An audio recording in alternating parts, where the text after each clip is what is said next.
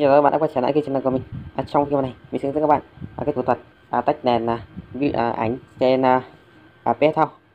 Và việc à, tách đèn ảnh trên à, PS thao thì à, nó khá là đặc sắc và nó tách đèn một cách sắc nhất trên à, từng một chi tiết à, và nó không à, như trên à, à, Eraser hay là một à, hay pickaxe tách à, để- tách đèn được thì à, à, các bạn vào dấu cộng ở đây nhé các bạn có thể xem demo ở à, phần à, trên à, sau đó các bạn à, vào phần à, chọn cho mình một cái ảnh mà các bạn cần phải tách. Ở đây mình sẽ chọn hình ảnh. Này để cho nó một tả rõ hơn. Ok để tách được hình này thì à, các bạn nhìn nhìn những cái chi tiết về tóc. Thì à, nếu các bạn tách trên à, Enzer hay Picard thì à, để tách được à, những cái nét tóc này thì nó khá khó. Nên là việc tách với à, PS Thau thì à, à, rất là cơ bản thôi. À, đầu tiên các bạn à, vào phần à, hiệu ứng cho mình. Đây các bạn chọn lên phần là ô vuông ở đây nhá. Phần là tích v xv này. Các bạn chọn lên mình phần kíp nhá. Sau đó các bạn à, đi nét à, phần đường viền ngoài cho mình. Đây các bạn đi nét.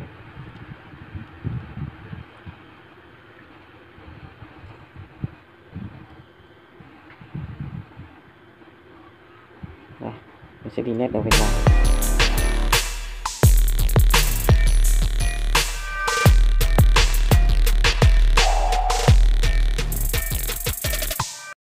tiếp theo bạn là vào phần Gmo này bạn đi cho mình những cái nét ngoài. Đấy, ok. Và nó sẽ tách uh, cơ bản cho các bạn.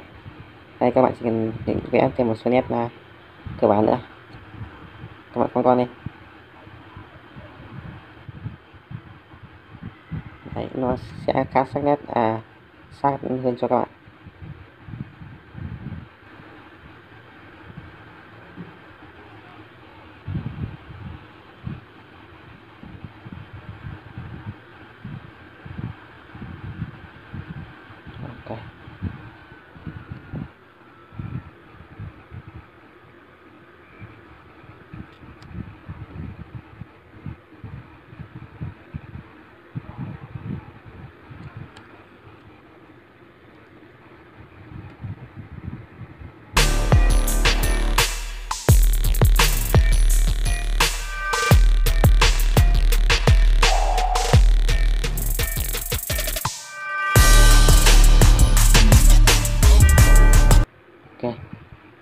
Về cơ bản là cũng khá ok.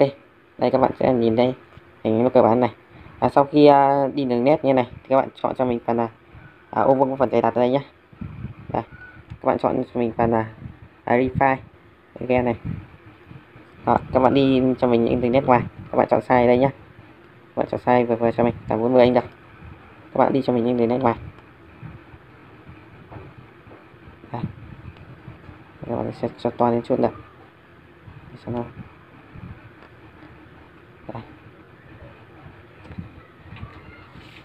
đây ok, các bạn đi cho mình đến đây này. Đến bên ngoài nhé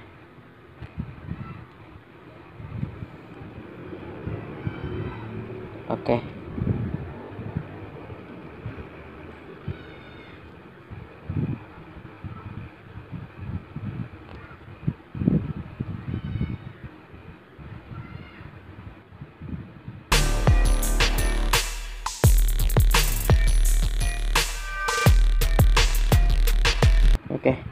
Phóng to đi. Phần này các bạn là thấy nó hơi sáng thì bạn xóa cho mình này. Đây nha. Đó.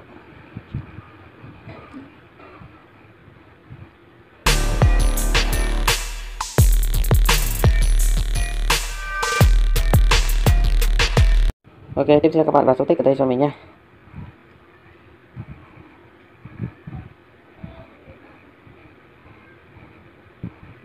ok và các bạn đã thấy nó chuyển đổi như này. Sau đó các bạn là à, và chọn phần này. Và lúc còn đây các bạn chọn là layer from season này. Đó, các bạn là chọn đơn các bạn tắt cái này đi. Và các bạn nhìn những cái chi tiết của nó này. Các bạn nhìn nhá. Đây các bạn sau đây các bạn tắt cái này đi. Đây các bạn nhìn những chi tiết tóc này. Đây ok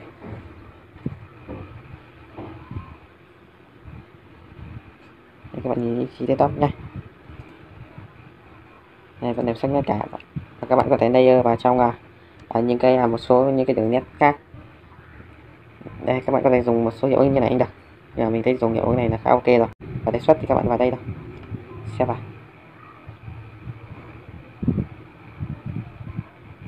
Ok các bạn chọn vào đây. Đây bên này vào. Ok.